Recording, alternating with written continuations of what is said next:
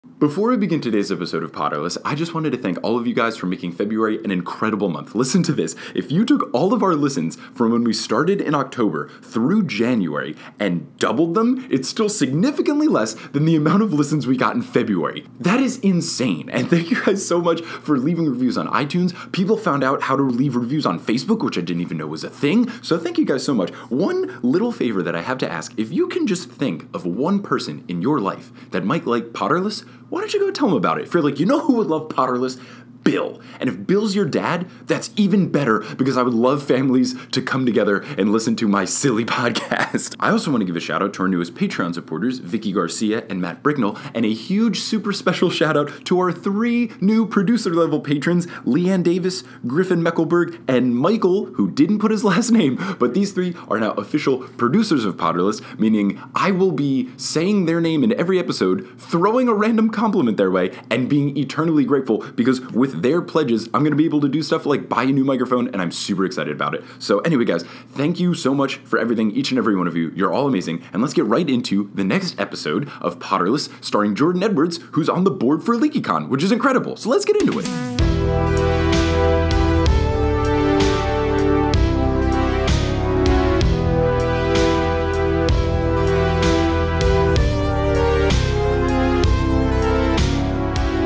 Hello, Internet! Thank you so much for returning to our journey through Harry Potter and the Prisoner of Azkaban. We are today covering chapters 13 through 16, and we are joined today by the lovely Jordan Edwards, who is on the staff for uh, LeakyCon, the Harry Potter Con convention conference magical wonderment, which starts tomorrow at the time of recording this. God. Jordan, how are you? I'm good. How are you, Mike? I'm doing very well. Uh, I did not know that LeakyCon was tomorrow, so this is super excited. And whenever this episode gets posted, months in the future, uh, it'll be old news. happened.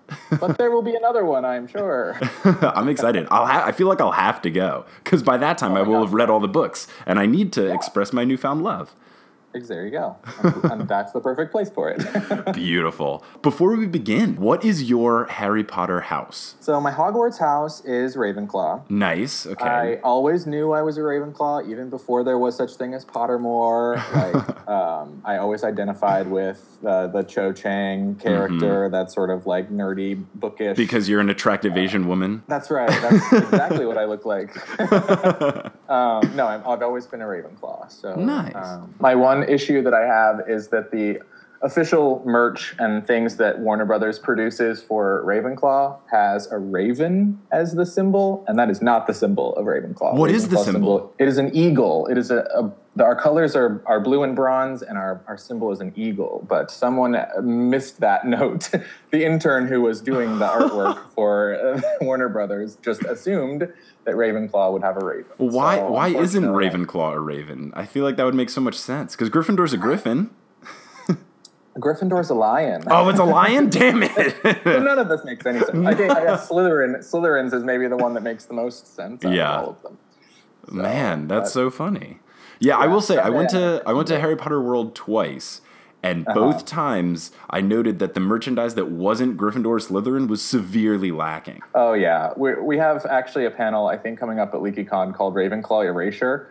So it's like this idea that like everyone is either a Griffin or a Gryffindor or a Slytherin, and like they're excluding all these other folks who identify as Hufflepuffs and Ravenclaws. So Yeah, I always felt growing up like I never read the books like until now, but I always Right. felt like Ravenclaw and Hufflepuff were super pushed to the side. And They Ravenclaw were. even more so than Hufflepuff because Hufflepuff kind of was like the New Jersey of Hogwarts where like at least everyone made fun of it and I'm from New Jersey Yeah. so I like got that. It was like, "Oh, well at least everyone's making fun of Hufflepuff so they're noted." Whereas Ravenclaws are just like, "Oh, the nerds. Let's not talk about them I ever." know. I guess it's because we were all locked up in our little tower doing our homework Yeah, we were too and busy never involved in studying. any adventures. so, no, I um, like that. We, you haven't gotten to meet Luna Lovegood yet, but when you do, she'll she'll represent Ravenclaw. Yeah, so we're starting with chapter 13, and I think this is the first time you meet. Oh, no, wait, is Penelope Clearwater from Hufflepuff? or no, I mean Ravenclaw? I think she is. I was gonna say this chapter. Yeah, that sounds right. I think mean, she's she's uh, Ravenclaw. I was gonna say that this Quidditch match, Gryffindor Yeah, versus Ravenclaw, is the first time you meet people from Ravenclaw halfway through the third book. like, oh yeah, those guys, right? The- so, chapter thirteen, Gryffindor versus Ravenclaw. So, as I've informed you before we started recording, and as everyone listening probably knows by now, I despise Quidditch and everything it stands for. Uh, so I join you in that. Good. That's that's exactly why you're on the podcast. That's going to be a new requirement. Do you hate Quidditch? Okay, good. You can be on. My first note that I wrote down, all caps. Oh, great! Another Quidditch chapter. So, so basically, this chapter starts off with uh, Ron and Hermione being very upset with each other for the whole Scabbers versus Crookshanks incident. Harry sides with Ron, which makes sense since Hermione's cat basically just attacked Scabbers out of nowhere, and Yeah. there's blood. Uh, but Hermione doesn't take that very well. No, she she really loves her cat. She thinks her cat's always in the right. Mm-hmm. And Crookshanks is a mysterious little bugger. Yeah, So- we run into more mysteriousness in chapter 16, which I'm really intrigued about. Yeah. The other Weasley family uh, tries to cheer him up in the best way, which is basically Fred and George being like, Oh, come on, Ron, you didn't really like Scabbers that much anyway. You always complained about him being terrible. They have a unique way of uh, of cheering people up. Yeah, uh, I love Fred and George so much. I know. Ron is like, but wait, what about that one time when he bit Goyle's finger? And then Fred and George sarcastically say, ah, his finest hour. Let the scar on Goyle's finger stand as a lasting tribute to his memory, which is so good. Scabbers' finest hour. Ah, I really? mean, I don't blame him. Go- Goyle's kind of a nasty little. No, they seem like really bad, mean, horrible people. Yeah, they're not the best. so Harry brings Ron to Quidditch practice to try to cheer him up. And he's like, oh, you can ride on the firebolt. And that's apparently the greatest thing in the world. So, yeah, well, when you're Ron Weasley and all you've had is this dinky, like back alley, like crap broom your whole life, I think getting to ride a firebolt. yeah, you have like the Swiffer Wetjet 3000 Yeah. or whatever. yeah, he's like Mary Sanderson, like riding like the vacuum cleaner.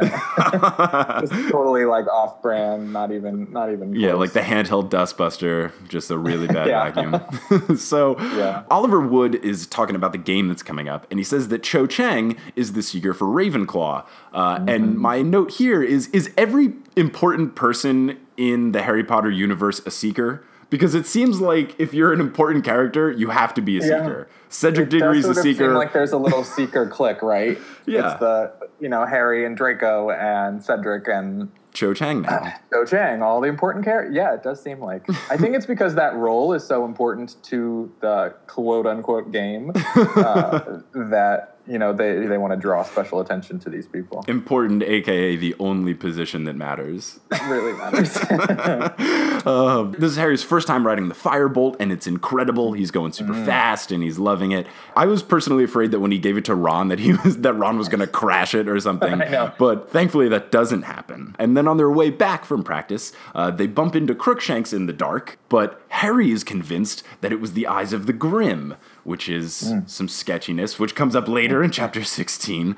So at breakfast the next day, all of the students are oogling over the firebolt and they're freaking out about it. Malfoy is super jealous, obviously, and then Percy comes up to Harry and tells him that he needs Harry to win the Quidditch match against Ravenclaw because A, he's bet his girlfriend, Penelope Clearwater, 10 galleons on the outcome of the match, and B, he doesn't have 10 galleons. And this raises a lot of questions. First off, if you're having a bet with your girlfriend, why isn't it something like playful or creative, like, oh, well, the loser has to do give the other a massage or like Yeah. clean the, their laundry or like something. Don't bet a thing that you don't have. Yeah, that's the other thing. It's like, first off, don't bet your girlfriend money, and second, like, don't bet her money when you don't have the money. Because how cool, like, is is how Percy loves to make sure everyone knows he has a girlfriend. yes, He's like brings it up at every opportunity. By the way, my girlfriend. Did I tell you I have a girlfriend? Her name is Penelope. She's my girlfriend.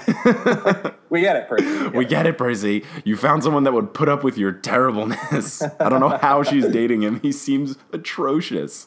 Yeah, he's rough.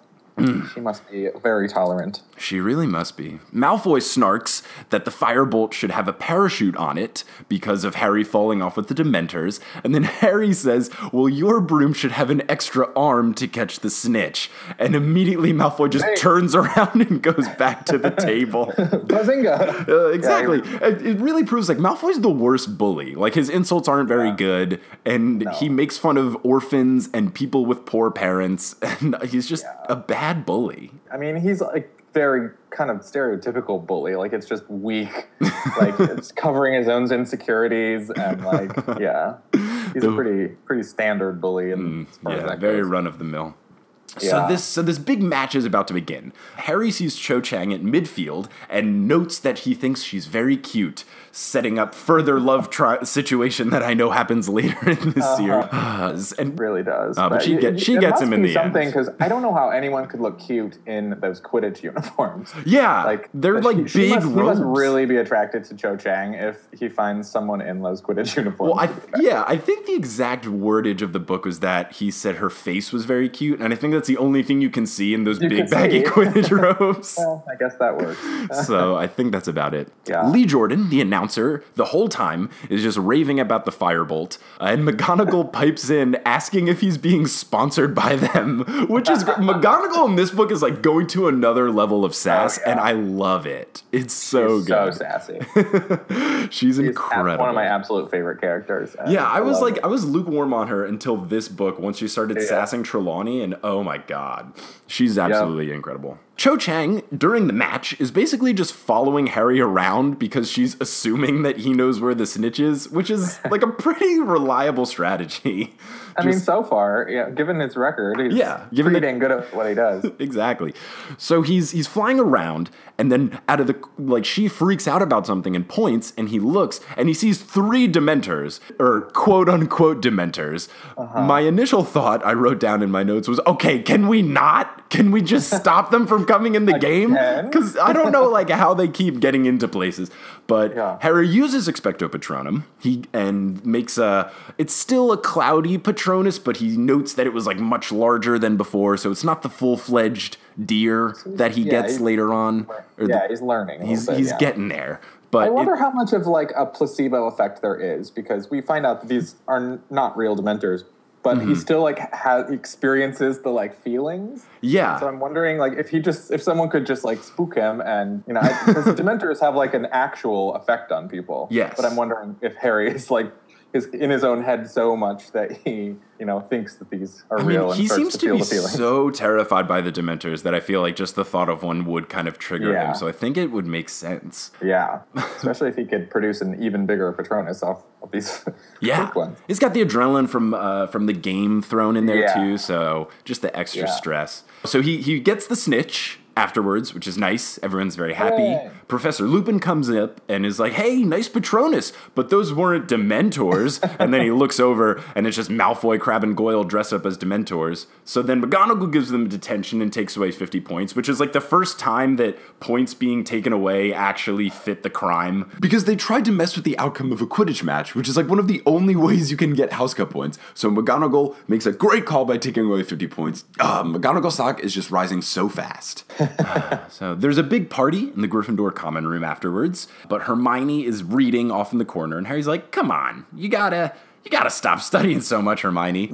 Ron wastes no time to yell at her again for the whole Scabbers incident. Um, Of course. And then they just, the party ends, McGonagall says go to bed, and Harry has a dream, a vague one about his Patronus having hooves and running through the woods, so this is foreshadowing for his Patronus being, being a deer later on. And he wakes up to Ron yelling and freaking out that he saw Sirius Black with a knife, like over his face, and then slash the curtains and then run away. And no one believes Ron. They're all like, oh, come on, Ron, it's just a nightmare. Get over it. And then McGonagall storms in. Is like, what's all this ruckus? And again, she doesn't believe Ron. They go to the painting. And then they're like, oh, whatever, Mr. Annoying Night Guy. Sir Cadogan. There he is. Annoying night guy. they they ask him, they're like, oh, did you just let in a man? And he was like, yeah, he had all the passwords written down on a little piece of paper. Fuck, so fucking Neville Longbottom Oh, Neville. ruins another. He thing. tries so hard and fails so hard every time. He really does. Why would Sirius Black give a crap about Ron Weasley? Well, Maybe he thought he was Harry. That's I think that's what he, they think it is because when Ron is like hyping up the story, what he says is that he like he woke up to Sirius Black over the top of him, and then hmm. when he I guess when he realized it was Ron and Ron like woke up, he made a noise and he ran away, and then people are like, why wouldn't you just move on to Harry's bed? And then Yeah. they're saying like, oh, because you know they would have if like if people heard him, they would have shut down. The portrait, and then all the teachers would have came in, and they could have brought Right. the Dementors. So Yeah, I think I think he just had to run away. Hmm, hmm intrigue. Hmm.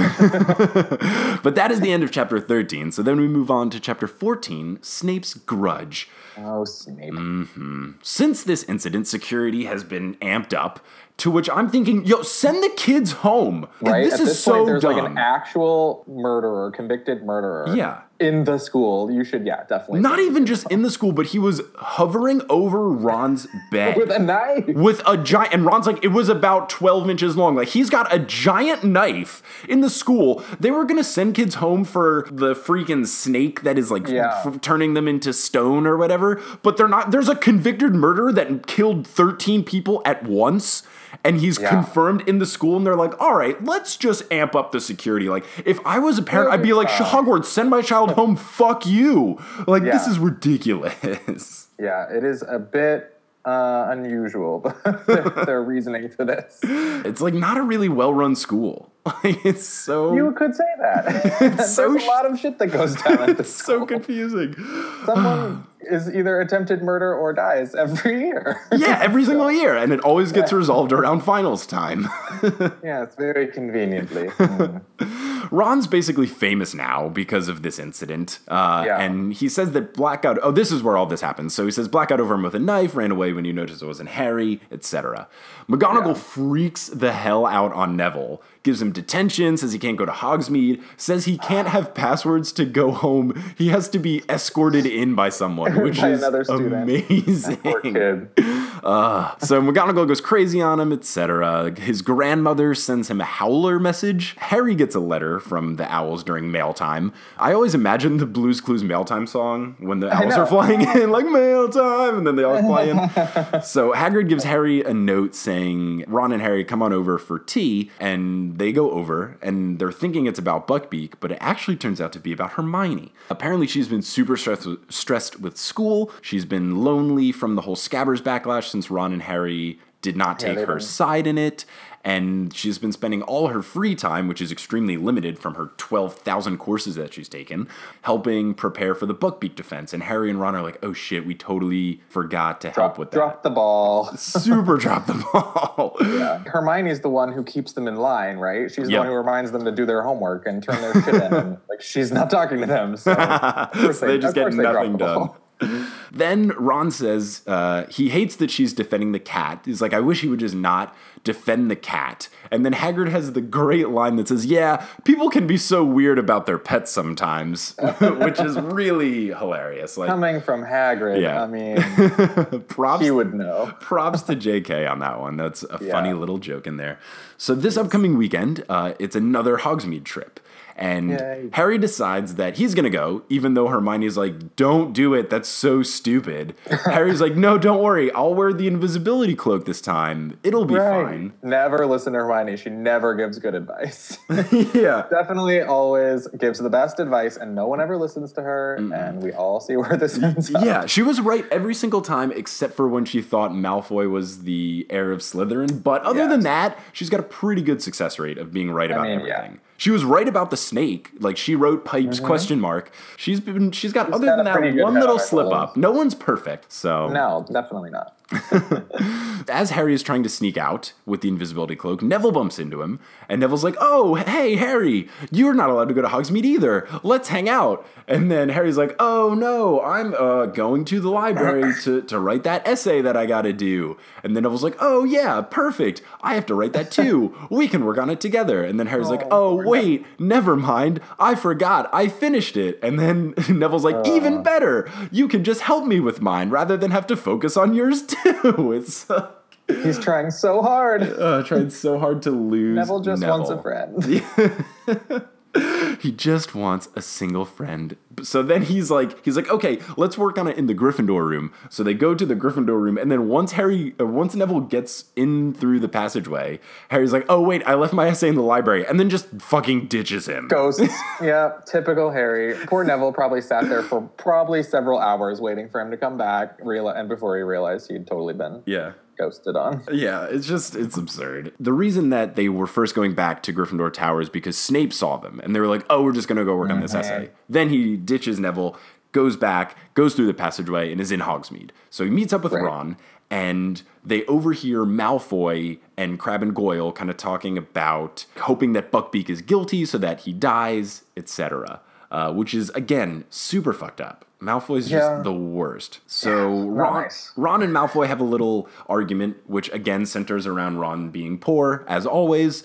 And while this is going on, Harry, with the invisibility cloak, sneaks around the back and scoops up a big thing of mud and then just throws it at Malfoy's face, which is fantastic. Yeah, and like so deserved. Oh, for sure. Like it was such a like a yes moment. Yeah. So while while he's doing this invisibility mischief, one of Crabbe or Goyle, they're the same. Uh, one of them like steps on the cloak, and Harry's face is revealed, and Malfoy kind of freaks out. So immediately Harry has to run back because he's like, "Shit, Malfoy's gonna rat me out. This is really Yep. bad. I gotta get out of here." So runs back, goes as fast as he can through the passageway, and once he gets through the passageway, Snape is right there. So Snape's like, "Potter, come with me," and brings him to the office, interrogates him, interrogates him because Malfoy told him what happened. He got there first, and Snape like doesn't have any concrete proof, so he's trying to get Harry to confess, but Harry won't do it, which is clutch. And then. Yep. He's like really egging him on, and he's like, "Oh, this is so typical. This is just like your father." And he basically just starts going on this like anti brings up his James. dad. Yep, goes on this anti James Potter tirade, and Harry tells Snape to shut up. And Snape's like, "What did you just say to me?" And Harry's like, "I told you to shut up," which is like, ugh, angsty Harry in full force. Oh yeah. He's really coming Not, into not his playing games own. at this point, Harry. Not at all. He's really coming into his angsty own in this book, which is great. Yeah. So Harry. Harry tells Snape, he's like, I know that you only hate my dad because he saved your life. And then Snape's like, Oh, did you hear what really happened? And Harry's like, uh, no. And, S- and Snape Snape reveals that apparently James Potter and a group of his friends were playing a prank on Snape, and at the last minute, James Potter got cold feet, which is the Yep. only reason that he Snape saved Snape's life. And Snape is like, if they had gone through with it, James would have been expelled for sure. And then they're not, they don't talk about it in the future. I'm guessing this won't come up until like book six. They're just not going to tell you what happened. I mean, it's hard to when you kind of come to realize that this like paragon figure in Harry's life, his dad, this like mythological figure, is Uh-huh. actually not this pristine, perfect person. Yeah. But It- it, adds a lot. you It adds a lot to the character. Yeah, it does. And you really start to learn that in this book because in the first two you're like, oh, James Potter is basically just like Jesus. And then Yeah, when they when they that revealed that Sirius Black was his friend and the teacher's like, oh yeah, they basically say that James Potter was like Fred and George and you're like, wait. they're not the nicest people ever, but they're my favorites. So they that instantly was like yeah, but like lovable. Yeah, like Fred and George. Perfect. Snape then makes Harry empty his pockets. He sees that there's a bunch of Hogsmeade stuff, all this stuff from the toy store, and Harry's like, "Uh, Ron gave those to me a while ago." and Snape's like, "And you kept them in your pocket the whole time?" And he's like, "Uh, yeah, it definitely wasn't at Hogsmeade. I definitely wasn't. I promise." Snape uh, finds the Marauders map, and he's like, "What's this?" And Harry's like, "It's a piece of paper." And Snape's like, sure it is. He tries to get the the map to reveal what it is, and he's using all these like authoritative charms. He's like, Professor Snape warrants the map to set to show yourself or whatever. And then the four founders of the map basically just shit talk him. So I I, wrote down the full quote, all four of the quotes because they were amazing. So, So when they shit talk him, they say, Mr. Moony presents his compliments to Professor Snape and begs him to keep his abnormally large nose out of people's business. Mr. Prongs agrees with Mr. Moony and would like to add that Snape is an ugly git. Mr. Padfoot would like to register his astonishment that an idiot like this ever became a professor, which is easily the best insult, followed by the worst insult. Mr. Wormtail wishes Professor Snape a good day and advises him to wash his hair, the slime ball. Of so many like good building insults, and then the last guy's like, "Your hair's really dirty." Like, Yeah. so bad, so rough letting us down. so letting much build down up for the worst right. insult. Uh, so Snape calls Lupin in, and he teleports through a fireplace, which is super cool. And I really want them to explain how this works because I know from the movie. So I've seen the first four movies, and that's all. Mm-hmm. That's all my knowledge. I remember a few things from this movie, and the one thing I remember is Sirius Black talking to Harry through a fireplace. So Hmm. I don't know if fireplace teleportation is a common thing, but It's, I think it's a bit like the the um, Floo powder Okay. transportation stuff. So like the way I understand it is it's like if you jump in, you will go to that place, but if you just like stick your head in, you can, talk. You can talk to them. Okay. it's like uh, yeah, it's like Google Hangouts in the Wizarding world. Nice. Yeah. Whoa. Fireplace would be way cooler than a laptop. Google. Because then I could roast marshmallows and talk to you. Yeah. Uh, anyway, Lupin comes in and Snape is like, This thing is filled with dark magic. So what is it? And Lupin's like, Dark magic? Pfft, this is clearly a joke toy from, you know, that just insults whoever reads it. Come on, Snape. He's like, Come on, Harry and Ron. Oh, I guess, oh no, Ron, Ron bursts in and vouches and like panting frequently, like, I gave those things to Harry a while ago, which is just amazing. I wonder how he knew. He must have like knew that he had all the toys in his pocket and was Yeah, I frantically think- coming up with an excuse for it. Exactly. I don't think Harry sent any sort of distress signal, so I think this was just like a baller move by Ron to like Yeah, know that's that. good friendship there. Yeah, he knew that if anyone was going to get Harry in trouble, it was going to be Snape, and he knew that if he was going to take him anywhere, it was going to be his office. Just like baller move by Ron. Panting. so Lupin, Lupin is like, "Come on, guys, let's talk about that essay that we have to write." And once he gets the other side, Lupin's like, "Yo, Harry, what the fuck?" like, he's like, "What the fuck? Why did you not turn in this map? Or why didn't you take the whole black thing seriously? Yeah. Obviously, the map makers are going to want you to go out of school because they'll find that entertaining. Also, it has the secret passageways to Hogwarts, which is how Sirius Black is getting in. Like, this is stupid." And Harry like actually feels like shit because Lupin was so nice to him the whole like time. dropping some truth bombs on him. Yeah, he gets the basically "I'm not mad, I'm disappointed" speech from I Lupin, know, which is worse. and Lupin's Hurts like worse. the most father figure he's had in the series, so Yeah. it's like pretty heartbreaking for Harry. yeah. Uh, Ron and Harry go back to the tower, and Hermione is there, and she's really sad. And they're like, "What's going on?" And they say that Hagrid lost the Buckbeak case, and that's how it ends. So back to back chapters ending on really sad notes. Yeah. And then we get to chapter 15, the Quidditch final. So, yay, another fucking chapter about Quidditch. Yay, more Quidditch. Yeah, it was that one chapter break from Quidditch was too long. I needed more. Hermione says that Papa Malfoy basically intimidated the whole jury of governors into voting guilty for Buckbeak. He's so corrupt. Um, yeah, That guy has so awful. much power and so much money that everyone is just scared of him. Uh, it's really true. It's really sad. Wait, maybe that's why Hogwarts is so poorly run.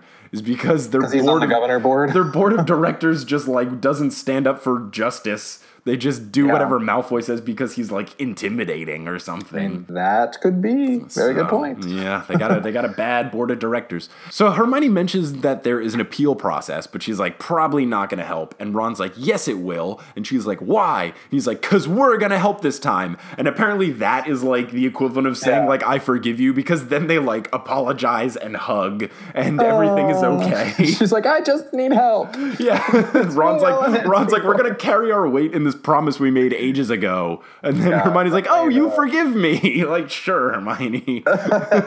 Yeah, and definitely the uh, the help of two 13 year old kids is gonna save this Yeah. like legal case. exactly. Hagrid meets up with the squad. He's really sad. They're like in the hallways and stuff, and they they're walking a little bit farther, and they hear Malfoy kind of making fun of the whole thing about how sad Hagrid is, and Hermione just straight up walks up to him and slaps Malfoy in the face, which is had enough. incredible. It's a literal hold me back moment because she like goes to slap him again, and Ron like holds her hand back, and then she goes to like take her wand out of her pocket with her other Yeah. hand, and they like Harry and Ron have to like tackle her to be like, no, it's great. like Hermione is fantastic.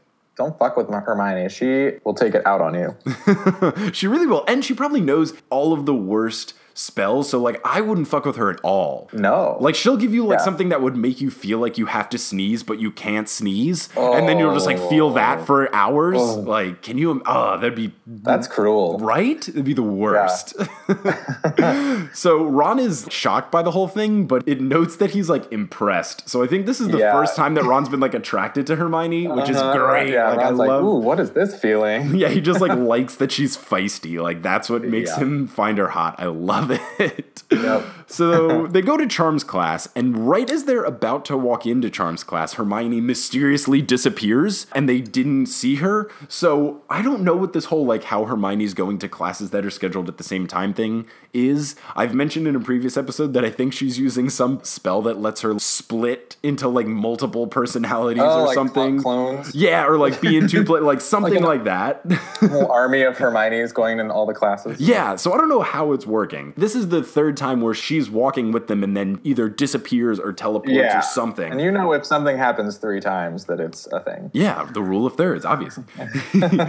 so she disappears, and then after class, they find her in the Gryffindor Tower, like asleep in front of a textbook. And they're like, Hermione, where were you? And she's like, Oh, did I miss class? And we're like, They're like, Yeah.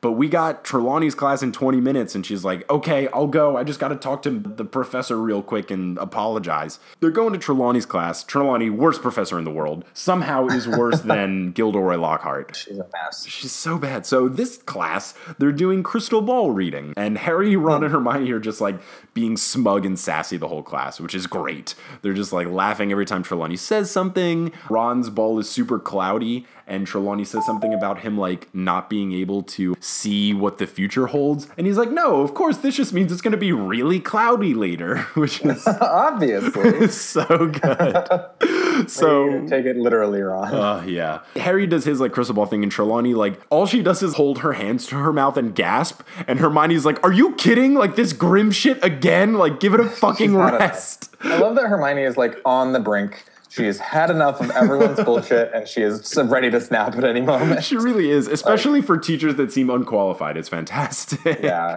she, has no patience for it. Yeah, so Hermione and Trelawney basically get into a full fledged argument, and Trelawney says that Hermione has, quote, a mundane brain. And Hermione's like, fuck this, and just leaves the class, which is like completely warranted. If Yeah. a teacher basically says you're stupid, get the fuck out. Yeah, and she does, and she storms out. Mm-hmm. Rather unlike Hermione. Like I grant you, it's warranted, but like she loves her classes. she, so she's a super nerd. like yeah, you def- she's definitely reached a breaking point. yes, for sure. Easter break is approaching. Again, why have they never talked about if Jesus is a wizard or not? Easter break is approaching, and they apparently have a ton of homework, so everybody's really upset. So Ron is going super hardcore on the appeal for Buckbeak, and Harry's been super hardcore in his preparation for the Quidditch final against Slytherin because hmm. the way that the point system works throughout the season, which is the only thing I like about Quidditch, is that like how much you win each game by actually matters. Does like I think that's yeah. pretty cool because then it makes the the non-seekers like mildly important. but Rack up as many as you can because you're gonna get Seeker's gonna win for the rest of yeah, but it, it the the only bad thing about it though is like if one team is significantly better than another team, you could have a situation where a team would have to win by like 600 points in the final to win, and then it's just silly. So Yeah. I think like it would be good for seeding purposes, but not necessarily determining Yeah, you'd have who to wins. like wipe it clean. Yeah, like since there's only four teams, like you could just do the seeding. You're you're automatically in the semifinals. Right. There's only four teams. Yes, So not hard. not that bad. Yeah, you make the semifinals every single year. Like you're always making the playoffs. There's a copious amount of hype and there's a copious amount of nervousness because they have to win by 50. They have to be up by 50 points when Harry catches the snitch in order for them to win. Right. So, he's got to time it just right. Exactly. He can't just like it's got to be snatch it. perfect. The hype is there because Gryffindor hasn't won a cup since Charlie Weasley, the second oldest Weasley, was the Seeker. So it's been Mm-hmm. it's been a long time. I think it's been like eight years or something since they won. Harry is really determined to win because of Malfoy, not only because of him bringing up the Hogsmeade thing and all this other stuff, but the main reason he wants to win is because of the Buckbeak thing, which is like really cool that Harry wants to like bring it home for Hagrid Yeah. in a way. Yeah. In the school, it gets really heated. Gryffindor and Slytherin is like they're fighting in the hallways. People are like trying to trip Harry. Oliver Wood oh like commands that Harry always be surrounded by bodyguards effectively. We need you, Harry. yeah, like every time he bumps into Crabbe and Goyle. He can't go out. He can't go out anywhere because of Sirius Black, and he has to be surrounded by people because the Slytherins are trying to kneecap him. Yeah, how is there more security by students for a Quidditch match because people might trip him as opposed to, oh, I don't know, a The convicted murderer trying to kill him with a 12 inch knife? Oh, excellent question. So the Hogwarts logic for you. Yeah, and what what I think is funny about all this is that last time they were in the finals in the first book, there was not this much stress. Like they they weren't like worrying about it for weeks on end. And also in the previous book, they canceled the finals because of the snake thing, but they didn't cancel the finals because of Sirius Black nearly murdering Harry Potter in his sleep. They're just like, nah, let the game go on. Like, Uh-huh. I think it's because everyone likes Quidditch so much, so that like they really don't want to cancel it. Like, but I really like it. So Oh man. Harry has nightmares the night before just about Quidditch. He has this dream where Slytherin shows up on dragons instead of brooms and all this intense stuff. He has another dream that he forgot to show up and they had to put Neville in as seeker, which of course would have been bad.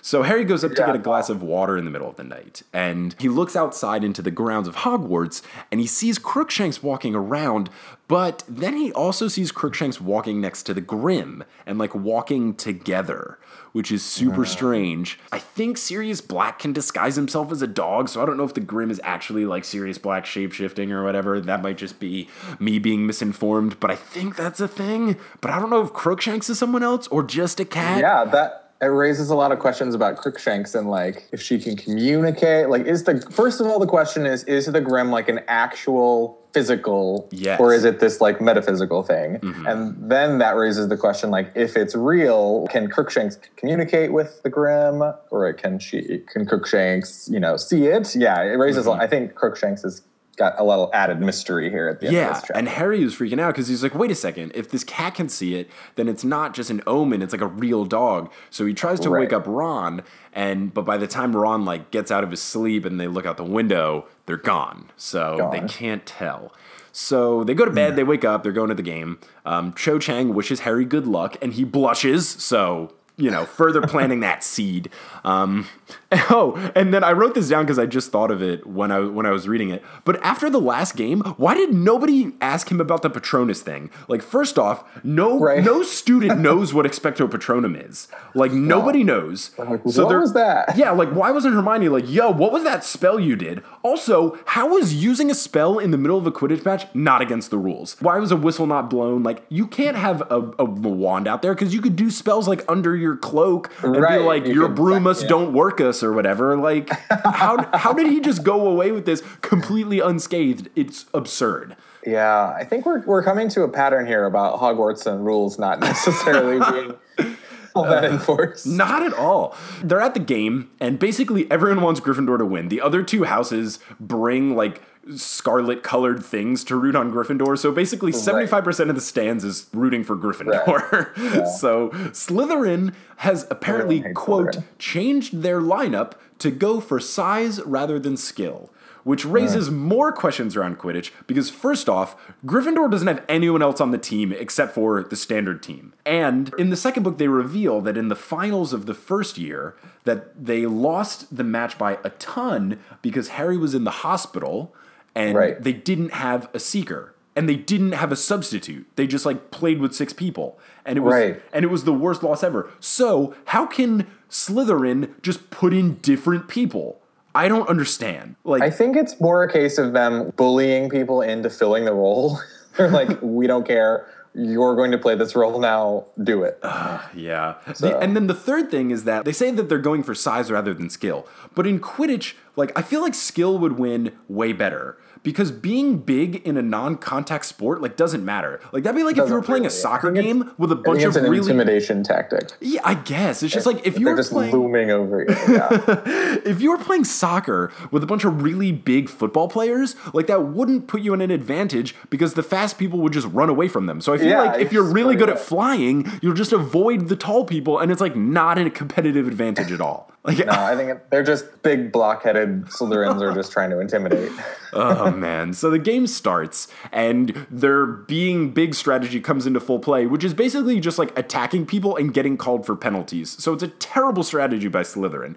You would think that since they knew that they just have to not be winning, they just have to not be losing by 50 when the snitch is caught, they should just like focus all their efforts on catching the snitch fast or like focus all their efforts on scoring a lot with the quaffle. But no, they decide they're just gonna like beat the shit out of people and it totally backfires. So Angelina scores a goal and then they like ram into her. And then Fred throws Fred throws his bludger club, so they get called a double penalty. So they each get penalty shots. Penalty shots, which is a new thing in Quidditch that didn't exist before. now there's penalty shots. But here's the thing: in, Qu- in Quidditch, and this really is just becoming an anti-Quidditch podcast. Like in Quidditch, the goals are just like tiny rings on a stick, right? Like they're not Right. very big. How would you ever score a penalty shot? Like if you're the goalie, wouldn't you just stand in front of the ring and then not let the quaffle go There's through? three rings. Okay, how big are they? Uh, in the movie, they're probably he dives across. They're probably like ten feet wide. Oh, oh, so you can throw it in any of the three during a penalty shot. Yeah. So the, Oh. the keeper's goal is to like anticipate what. Oh, okay, that makes so much more sense because I was just Yeah. imagining that they had to throw it through like the middle one, and then the the the secret the goalie would just sit in front of there and just be like, and nope. not gonna get it. in. Okay, that Yeah, makes no. so much more sense. Okay, Yeah. now I understand when when Lee Jordan freaks out that Oliver Wood saved two of the penalty shots. Now I understand why he freaked out. It seems really hard to save it. Okay.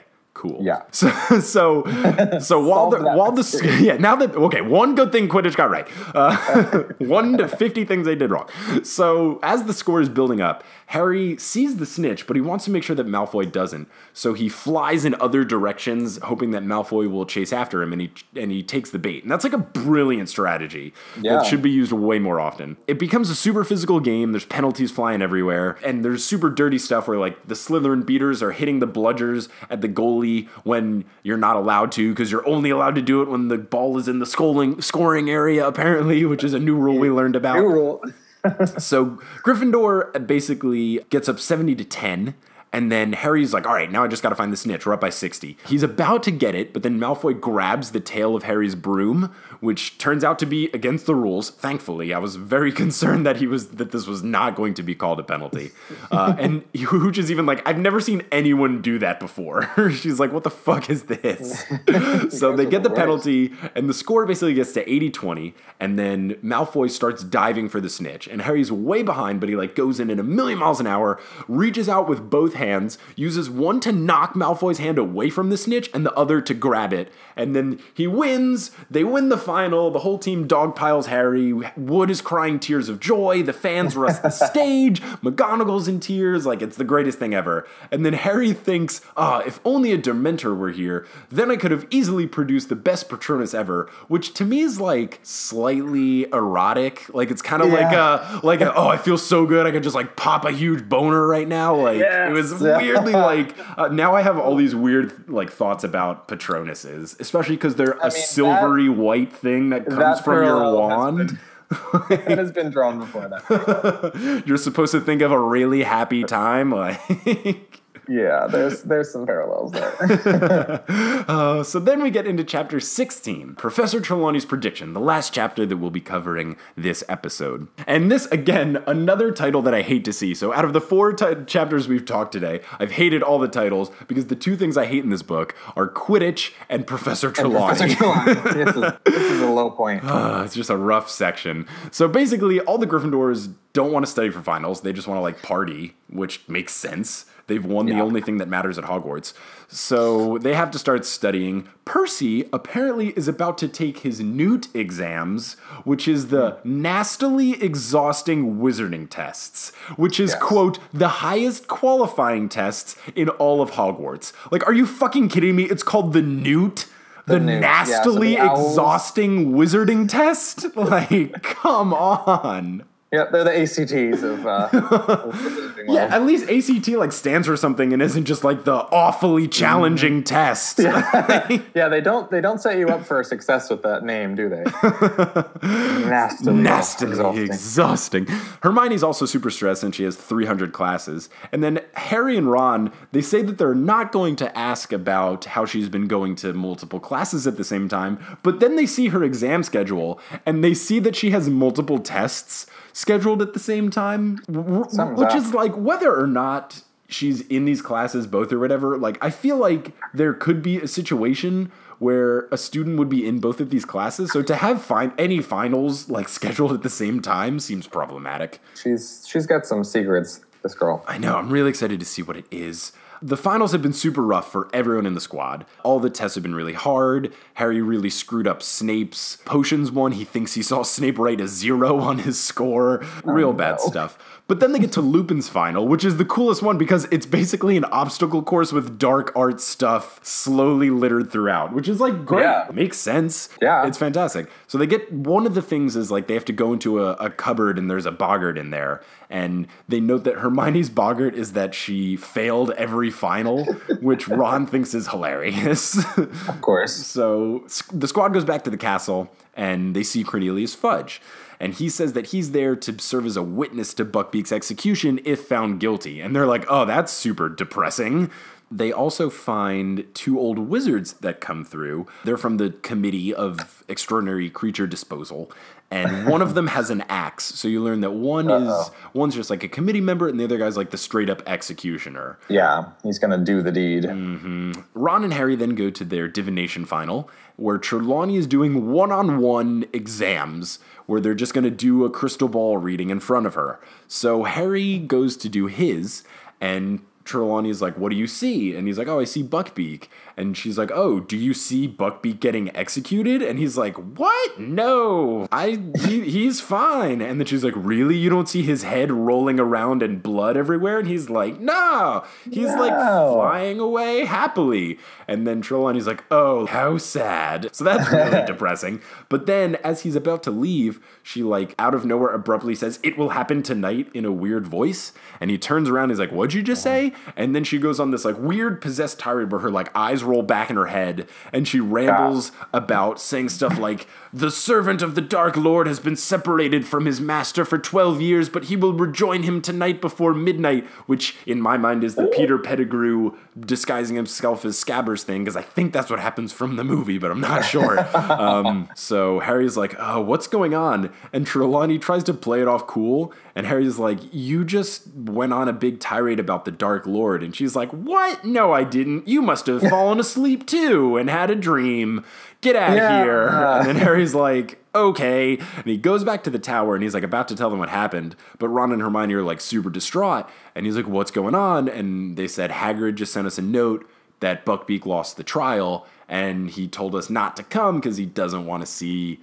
He doesn't want us to see Buckbeak get Right. murdered. Axed, as it were. Exactly. exactly. So it's sunset, so they can't sneak out. And they're like, oh, we need the invisibility cloak. And Hermione's like, where is it? And Harry's like, oh, it's in the passageway, but Snape would kill me if it's there. And Hermione's like, I'll get it. And they're like, what? And then she gets it. so further mm-hmm. becoming badass Hermione. Yeah. They get the invisibility cloak, they use it to go see Hagrid, uh, and he lets them in, and he's just a mess. Like he's distraught. He tries to Yeah. pour him a cup of tea, and he like spills milk everywhere, and then drops the pitcher, and it breaks, and he knocks stuff over. And Harry's like, "Yeah, I'll, I'll make the tea, Hagrid." Hold down, buddy. Yeah, and he, so he tells the he tells the guys that Dumbledore is going to come to keep him company, and he, uh, which is really sweet of Dumbledore. And then Hermione sees Scabbers like in Hagrid's house, and Ron's like, "Scabbers, what are you doing here?" And he picks him up, and he looks atrocious, like he looks painfully sickly. Ron picks him up, and he keeps trying to like flee and get out of his hands and all that. And as he's like kind of fighting with Scabbers, Dumbledore, Fudge, the committee member, and the executioner are like on their way. So Hagrid's like, "You guys got to get out of here." So the Yeah, squad God, you can't be out of the castle at this point. Yeah, you got to get out of here. If you get caught, this is bad news bears. So they leave. While they're doing so, Scabbers freaks the fuck out and is trying to like bite Ron and get away and all this other stuff. And while they're dealing with this, they hear the sound of an axe chopping down. So oh. it is perceived that Buckbeak has been murdered, but Yes. I still trust that he could be alive because he's on the cover of the book. So I really feel I really feel like he's not going to die. But that's just me. Uh, and on this incredibly potentially sad note is where we're ending this episode. So, I know. I, So much sadness and gloominess. I know. I uh, I I just picked the chapters of like what will take like about forty five minutes to an hour to discuss. Yeah. Uh, based on page number. And when I finished reading this this morning, I was like, oh no, like this is a terrible place to Such a end. Oh man. I think one of my favorite things that we learned from this chapter is that Trelawney like is an actual seer, right? Uh-huh. She has these fits, Uh-huh. but is not conscious of them and so like is constantly like faking it because she's trying to live up to her family history, but like she actually has talent and she doesn't know about it. Yeah, and she fi- she like That's one of falls the asleep. saddest thing. like she, she's talented, but she doesn't realize it. Ugh, yeah, so sad. So- But she's the worst, so I'm kind of not mad about it. You'll come to love her. Oh yeah, Maybe. but no. So that's the end. Uh, this was this was a fun little time, Jordan. Thank you so yeah, much for thanks joining. so much for having me. No problem. This is great. Good luck with LeakyCon. I'm sure. Thank you. I'm sure that'll be a blast. For the longest Yeah. time, I knew LeakyCon was the Harry Potter con- convention, but I uh, I did not know until reading these books that leaky was for like the leaky cauldron and i was like oh, Oh, yeah. i was like that makes sense i was like i was like why is it leaky like Yeah, no one's a plumber but i get i was like oh Yeah. the leaky cauldron that's that's a fun Cauldron. time Yeah, so our parent, like back in the day, in Mm-hmm. like the, the heyday of Harry Potter fandom, like the Leaky Cauldron was the big fan site, and so that's the, oh our parent company of uh, yeah. so anyway, it's going to be great. You'll definitely have to come to the one next year. Yeah, for sure. Because in my brain, in my brain, this podcast will soar to new heights, and everyone will be like, Yeah. "Oh, you're the guy." You're so, super famous reading the Harry Potter book. uh, and even if it doesn't, I want to go just to just to be a part of it because Stop. I will have read all of the books and maybe all the offspring books like The Cursed Child and Fantastic Beasts and the Yeah. Quidditch Through the Ages book. oh, you you could read Fantastic Beasts in like a minute. Yeah, I heard it's really short. It's tiny. It's tiny. but aren't they Yeah. making like four movies about it? Five, five movies. How? The movies are they're just gonna like make shit up? Yeah, so the, it's essentially just using the movies are about the author of that book, not about Oh. any of its contents. Okay. So you get to see all of his adventures of Uh-huh. like coming to get this knowledge to write this book. And you'll find out like you don't know some of this stuff yet, but there's going to be ways that these new movies tie into the original Harry Potter movies That's uh, super cool. In a way too. So we're we're figuring all that out as we go along, but it's going to be super fun. And it means we get 10 more years of like this Harry Potter world at least. Good. So- And it means I can find new ways to keep this podcast going yeah. because that would be super fun. But yeah, Jordan, thank you so much for joining. This was a fun time. Uh, and, Thank and you. internet, thank you so much for listening. Uh, is there anything you want to, any social media stuff you want to plug for people to follow? Or I would just say, if you're interested in LeakyCon, um, check us out. We're on all the social media platforms uh, at LeakyCon and LeakyCon.com. You'll have more information about the location and dates for our next convention um, pretty soon, probably by the time this goes up. So be sure to check it out. awesome, cool. Well, thank you so much. And as as they say in in Harry Potter world, a, a wizard on. Yes, indeed. Wizard on. Thanks so much. No problem. Potterless was created by Mike Schubert, it is hosted by Mike Schubert, it is edited by Mike Schubert, it is produced by Mike Schubert, as well as Michael, Leanne Davis, and Griffin Mekelburg, whose dentists always believe them when they say they've flossed, and the music is by Bettina Campamanes. Thank you guys so much for listening. If you want to, you can subscribe to us on iTunes, SoundCloud, and Stitcher. You can find us on Twitter at PotterlessPod, and you can find us at facebook.com slash Potterless. If pledging money to the podcast in return for bonus things like bonus episodes is intriguing to you, you can go to patreon.com slash Potterless, and if not, no big deal. Thank you guys again so much for everything, and until next time, as they say at Hogwarts, Wizard on!